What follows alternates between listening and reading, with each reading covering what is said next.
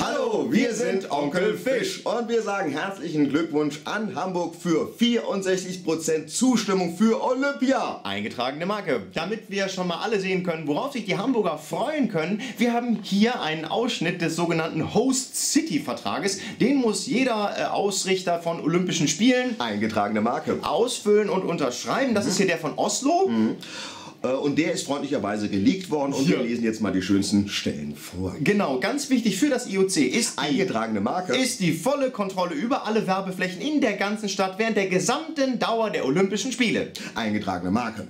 Die Ausrichterstadt muss für die IOC Eingetragene Marke. Spitze IOC Eingetragene Marke. Mitglieder und Gläubige eigene Autos mit Chauffeur anschaffen und bezahlen. Natürlich, der übrige Verkehr sollte übrigens begrenzt werden. Das IOC Eingetragene Marke. schlägt vor, die Schulen zu schließen und die Bevölkerung aufzufordern, ihren Urlaub zu nehmen. Auf sämtlichen Straßen, die von den IOC Eingetragene Marke. Spitzen benutzt werden, müssen natürlich eigene olympische Eingetragene Marke. Fahrbahnen eingerichtet werden. Äh, dem normalen Volk soll die Nutzung verweigert werden. Ja, und das völlig zu Recht. Kommen wir nun zu den Hotels, in denen das IOC Eingetragene Marke. absteigt. Denn hier ist es ganz besonders wichtig, dass die besonders gut vorgeputzt sind. Ist ja logisch. Natürlich. Es soll in Oslo. ein äh, möglichst großes Frühstücksbuffet mit täglich wechselnden Gerichten äh, zugestellt werden. Zusätzlich natürlich Personal, damit die IOC Eingetragene Marke. Funktionäre nicht in der Warteschlange stehen müssen. Ganz, ganz wichtig ist, dass alle IOC Eingetragene Marke. Funktionäre mit einem Lächeln im Hotel begrüßt werden. Steht hier drin, was soll man dazu sagen? Und im Stadion